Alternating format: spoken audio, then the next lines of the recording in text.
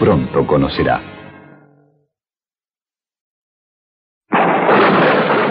Los Fiat y Peugeot fabricados por Sebel tienen cataforesis.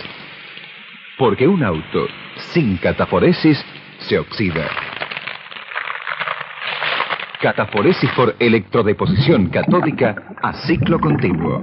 El sistema de protección anticorrosiva más avanzado del mundo. Es inconcebible, pero hoy se siguen fabricando autos sin cataforesis. Cuando con cataforesis un auto es inoxidable.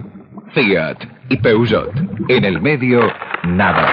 Y en la delantera, Sebel.